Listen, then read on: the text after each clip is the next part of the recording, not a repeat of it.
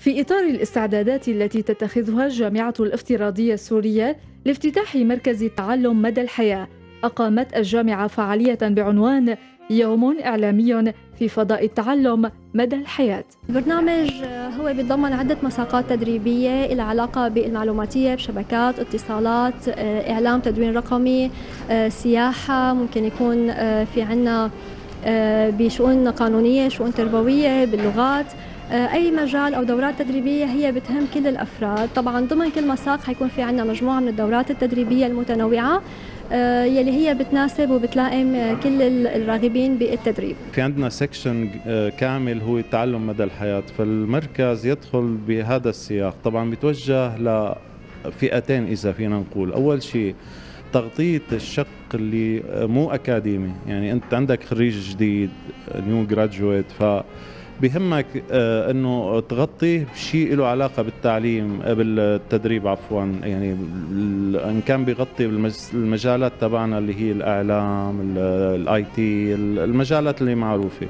الشغلة الثانية هي بيستهدف اللي الأشخاص اللي صاروا خلينا نقول آه، مانون up to date يعني أشخاص عم يشتغلوا لهم زمان وبدهم يرجعوا يساووا refresh للمعلومات تبعهم. فالمركز هو بيغطى هذا ال aspect يعني أو هذا الجانب من التعليم. فكرة المشروع آه، هي آه، ملء أو ردم الفراغ اللي صار بين آه، بالمجتمع نتيجة الحرب واللي صار فيها فقد كثير للكوادر اللي سبب مشكلة للشركات ببحثها عن الكوادر اللي المؤهلة. وبنفس الوقت إنه نحن في كثير أشخاص هن بحاجة لفرص عمل كثيرة نحن قادرين إنه نعمل هي الدورات التدريبية لنقدر نشبك بين شو شو حاجة السوق وشو حاجة الأفراد من من فرص عمل.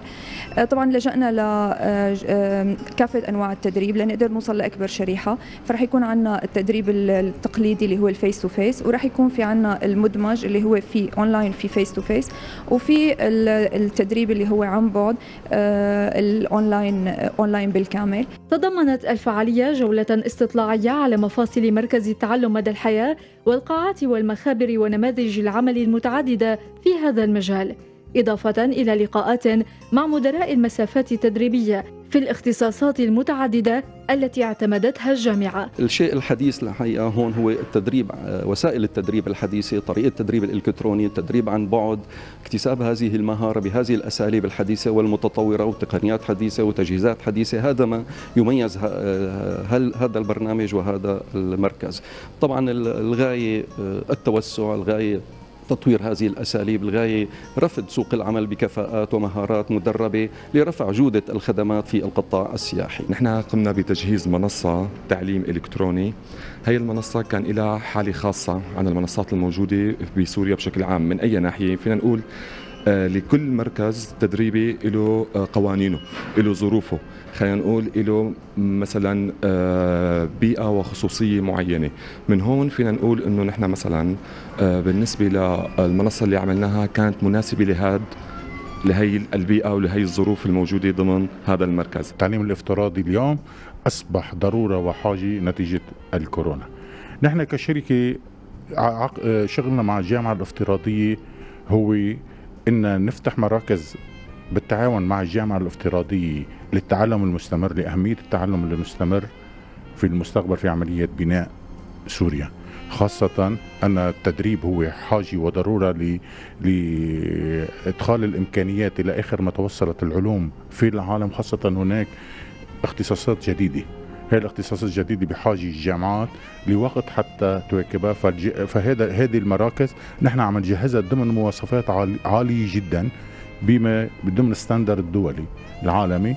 مواصفات عالية جدا.